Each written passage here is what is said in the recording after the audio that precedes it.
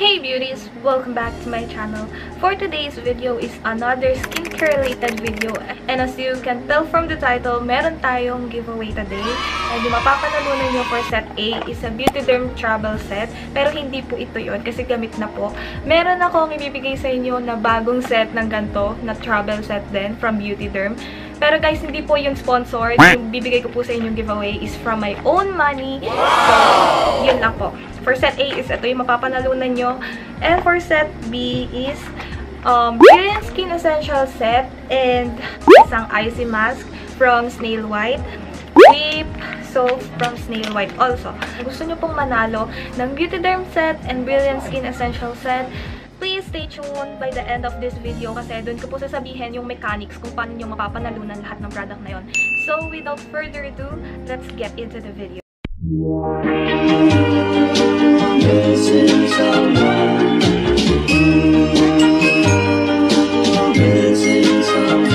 Missing someone.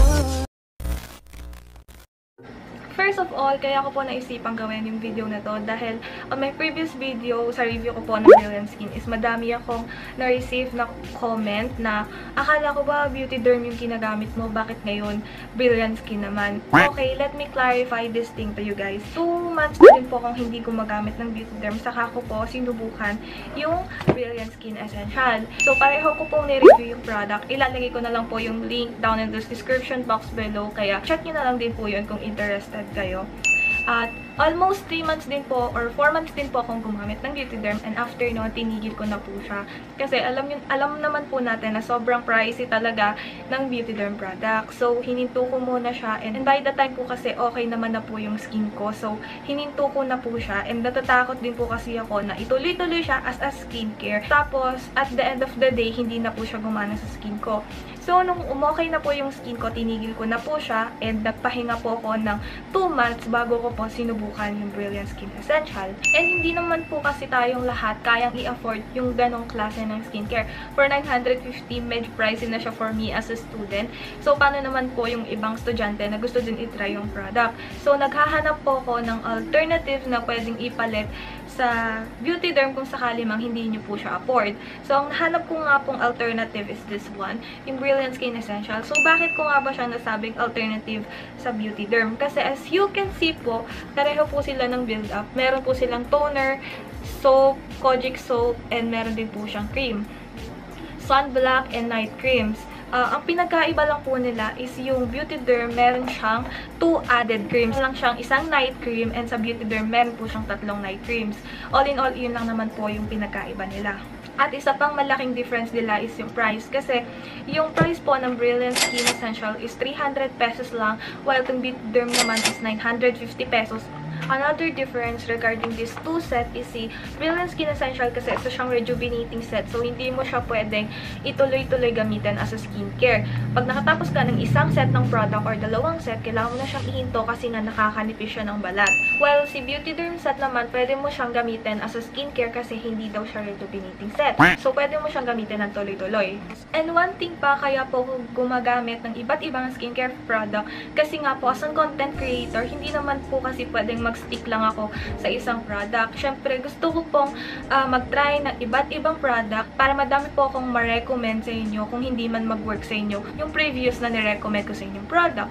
Pero, disclaimer lang, hindi po ako professional. So, lahat po na sasabihin ko sa inyo is tinest out ko talaga siya sa skin ko. And bago ko naman po sa inyo i-recommend or bago ko naman po ilabas yung video ko, mini-make sure ko na try ko muna siya for about 1 month, 15 days sa aking skin bago ko siya i-recommend sa inyo. Para ma-assure ko na hindi niya makaharm yung skin nyo. Now, let's talk about naman yung kanilang laman. Uh, unahin muna natin si Brilliant Skin Essential. Si Brilliant Skin Essential, yung soap niya is nagko-contain ng 135 grams and yung toner niya is 60 ml and yung mga creams niya contains 10 grams of product. While si Beauty Derm naman, yung kanyang creams is 5 grams lang compare sa Brilliant Skin na may lamang 10 grams. And yung toner nila, pareho lang naglalaman ng 60 ml. Karoon din sila ng difference regarding with the soap. Yung soap ni Beauty Derm product is 120 grams while um, in Brilliant Skin Essential is 135 grams. So, di hamak na mas lamang si Brilliant Skin kasi nga mas madami siyang laman tas mas mura pa siya kaysa kay Beauty Derm. I-review ko po talaga yung dalawang products na to. So, so if you're interested, kindly check the description box below. Doon ko na lang po ilalagay yung link. Um, ang purpose ng review na yon is para ma-make sure ko sa inyo na talagang sinubukan ko yung dalawang product na to para mabigay ko sa inyo yung final thoughts ko or yung mga naging experience ko regarding these two products. Kung ano ba yung talagang marirecommend ko or yung mas marirecommend ko sa inyo. Let's talk about first kung ano ba yung similarity ng dalawang product. So, pareho po silang nagpipil, pero nga lang, kay Beauty Derm is mild lang yung pagpipil niya or yung tinatawag na micropeeling. Unlike Brilliant Skin Essential, malaki po talaga yung pagpipil niya and halata po siya pag nag-start na yung pamamalat ng skin niyo uh, in my experience regarding with the Beauty Derm set is na-clear up niya talaga yung skin ko quickly. As in, real quick. Uh, kasi, one month pa lang, nakitaan ko na talaga siya ng improvement in which na-clear up or na-dry up niya talaga yung mga acne ko as well as my acne scars, pinalighten niya talaga ng sobra. And then, one thing pa na nagustuhan ko in Beauty Derm product is na-brighten up niya yung face ko. One thing na nagustuhan ko pa sa Beauty Derm set is na minimize niya yung pores ko And, nabigyan niya ako ng uh, healthy dewy finish or binigyan niya talaga ako ng sobra-sobrang gandang glow. And hindi rin ako nagkaroon ng mga acne or hindi ako dumaan sa purging stage or yung tutubuan ka muna ng maraming pimples bago gumanda yung skin mo. Hindi po ako nagdaan sa ganong stage. Hindi rin po ako nagkaroon ng bumps while using this set. Ganon din naman yung naging experience ko in using this Brilliant Skin. Madali niya din na-dried up yung pimples ko and nami-minimize niya din naman yung pores ko. It also brightens my skin as well as it gives you a healthy dewy finish and glow. Now, let's talk about naman nung nag-start na yung peeling. Ang experience ko nung nag-start na yung peeling process dito sa Beauty Derm set is meron akong naramdaman na na konting hapde pero sobrang mild lang. Siguro 5% out of 100.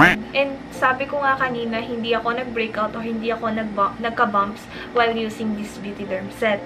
Unlike dito sa Brilliant Skin Essential, is mahapdi talaga siya lalo na pag nag-start na yung peeling. 80% out of 100 yung hapdi niya kapag babalat yung skin mo. Eventually, nagsasubside din naman siya and sobrang wow. ganda ng outcome niya pagkatapos ng peeling process na yon. Yun nga lang, kailangan mo muna talagang dumaan sa stage na sobrang hapde or magtitiis ka muna bago gumanda yung outcome sa skin mo. Unlike nga po dito sa Beauty Derm set na hindi mo kailangan magtiis bago gumanda yung skin mo kasi nga micro peeling lang siya and sobrang mild lang po ng pagpipil niya kaya hindi siya masyadong mahapde. Uh, kaya ma-advise ko po talaga to sa mga merong sensitive skin dahil mild lang po talaga siya lalo na pag nag-start na yung peeling. Hindi din po kasi siya masyadong halata pag nag-start na yung pamamalat ng face nyo kaya makakapagsuot pa rin po kayo ng makeup while using this set. Pero again, hindi po kasi advisable na pag gumagamit ka ng gantong set is mag-makeup. So, kung hindi nyo naman po kailangan mag-makeup or kung hindi naman po required sa inyo yung mag-suot uh, ng makeup, wag na lang po siguro kasi mas maganda kung hahayaan nyo po siyang mag-renew naturally. Unlike po dito sa Brilliant Skin, pag ginamit niyo po tong set na to, hindi po talaga kayo makakapag-makeup kasi nga po malalaki or tipak-tipak yung pamamalat niya kaya masagwa kapag pinatungan niyo siya ng makeup or foundation. Now, let's talk about naman po yung kanilang sunscreen sunblock ni Beauty Derm. Si Beauty Derm is merong UVA and UVB uh, protection in which na po protect niya talaga or na may make sure natin na protected yung skin natin from harmful UV rays na hatid ng sun. Kasi nga, or ang nire-recommend na SPF pag gumagamit ka ng mga rejuvenating set or yung mga skincare set is kailangan ang standard ay SPF 50 pataas. So, pasok na pasok yung SPF ni Beauty Derm. And another thing na nagustuhan ko sa sunblock ni Beauty Derm is meron siyang lifting effect or meron siyang collagen. Dahil sobra niya talagang nabuboost yung elasticity ng skin ko. Now, let's talk about naman yung sunscreen ni Brilliant Skin. Dito naman kasi talaga bumawi si Brilliant Skin. Uh, yun nga lang, meron kang konting mararamdamang stinging effect kapag ka nag-start na yung peeling pero all in all, wala naman talaga akong masasabi sa sunblock na to kasi ah, dito sa sunblock ni Beauty Derm, para kang naka-moisturizer. Well, sa sunblock ni Brilliant Skin is para kang naka-tinted sunscreen in which nako-cover niya some of your acne marks and imperfection. Pero hindi naman yung sobrang grabing coverage, yung tama lang. And also, nababrighten up niya din yung face mo. Kaya sobrang ganda talaga ng sunscreen nila. And it also has um, UVA and UVB protection. Yun nga lang, meron lang siyang SPF 30. Pero sobrang nagustuhan ko talaga yung sunblock ni Brilliant Skin Essential. Now, let's talk about yung availability ng dalawang set na to. Kung sino ba talaga sa kanila yung madaling hanapin. Sa availability is panalo si Brilliant Skin. Kasi Brilliant Skin Essential, mahanap mo siya kahit saan kaan. Even sa palengke, sa mga boutique, sa mga malls, may mga stall doon na nagtitinda ng mga cosmetics and beauty products. Ma madali siya talagang hanapin. And meron din mga online seller na nagtitinda nito kaya madali talaga siyang mahanap or madali talaga siyang mabili. Unlike kay Beauty Derm product, medyo mahirap talaga yung availability ng product na to. Although, meron naman talagang stores na nagtitinda sa mga malls, like Vista Mall. Ayun, meron akong nakita nagtitinda dito sa Vista Mall. And also, meron nga din pala silang Facebook page. So, i-check nyo na lang din yun. Pwede din kayong mag-message dun sa kanilang Facebook page kung nahihirapan ka kayong maghanap ng set na to. So, all in all, yun lang naman po yung masasabi ko regarding with the two set. So, alam ko, ito yung pinaka-aabangan nyo kung paano nyo nga ba mapapanalunan yung dalawang products or dalawang set na sinabi ko kanina. For set A is ito ngang travel set ng Beauty Derm. And for set B naman is Brilliant Skin Essential together with Icy Mask ng Snail White and Whip Soap ng Snail White. Para mapanalunan nyo yung set A or yung set B, all you have to do is first subscribe to my channel. Next is like this video.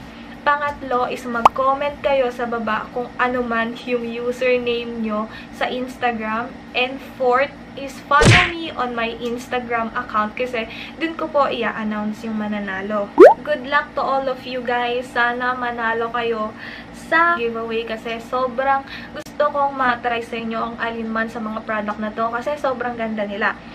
So, dito ko na lang po i-end yung vlog. Please don't forget to subscribe to my channel, like this video, click the notification bell para lagi kang notified every time I upload a new video and every time meron tayong giveaway. And road to 15,000 subscribers na po tayo. Hindi ko po magagawa yon kung wala kayo. Kaya, nagkaroon po ako ng gantong giveaway. Thank you, thank you so much guys for watching. Please stay safe, stay at home, drink lots of water, stay hydrated, stay healthy, healthy. Probably, we will see you on my next one. Bye! And I think to myself, what a wonderful.